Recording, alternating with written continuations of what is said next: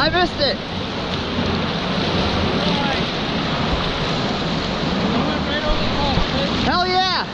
No speed. Oh, But I just plowed right through. yeah. I got spun out in the eddy. Uh, Ruby Doom? No. Oh, the Dino Eddy. I caught the eddy right above it.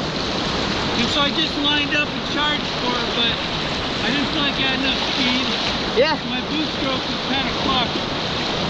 And then I think, oh, I got the room doom, so I missed it by a paddle stroke. I thought I saw you in it.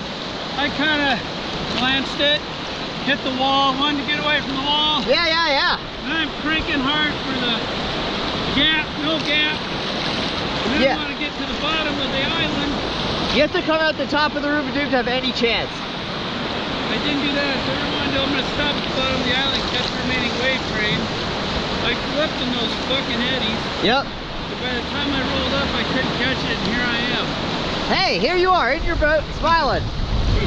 You know, what else do you want? You It looked pretty intimidating at first, but it wasn't that bad. No, it's not. I mean, it's very manageable, It's totally within your wheelhouse.